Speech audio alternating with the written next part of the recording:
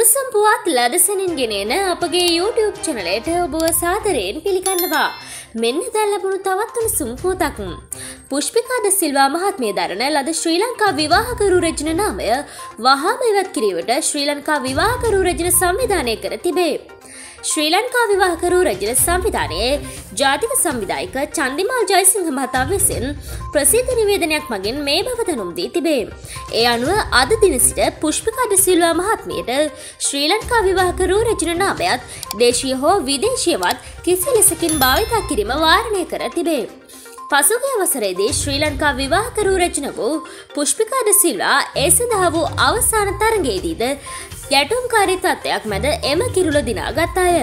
මෑතකදී ඇමරිකාවේ පැවති ලෝක විවාහකරු රචන තරගේ සඳහා සහභාගිවීමෙන් එහින් පරාජයවීමෙන් පසුව රෝසි සේනානායක හා චන්දිමල් ජයසිංහාදී අයට චෝදනා කළේ ඔවුන් විසින් කරන ලද බලපෑම් මත තමන්ට හිමි වනටිගෙ කිරුල අහිමි කළ බවයි.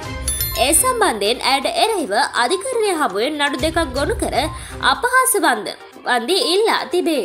මෙවැනි උණුසුම් පුවත් ලදසනින් දැන ගැනීමට අපගේ YouTube චනලේ සබස්ක්‍රයිබ් කර බෙල්ලයිකනය ක්‍රියාත්මක කරන්න.